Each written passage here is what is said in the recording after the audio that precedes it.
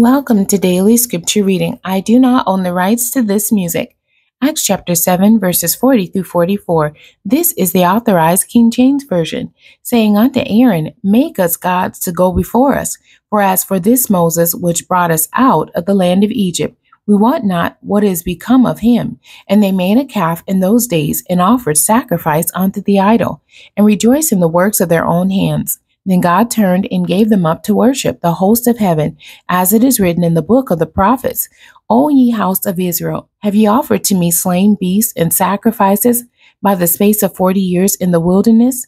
Yea, ye took up the tabernacle of Moloch, and the star of your god Remphan figures which ye made to worship them, and I will carry you away beyond Babylon.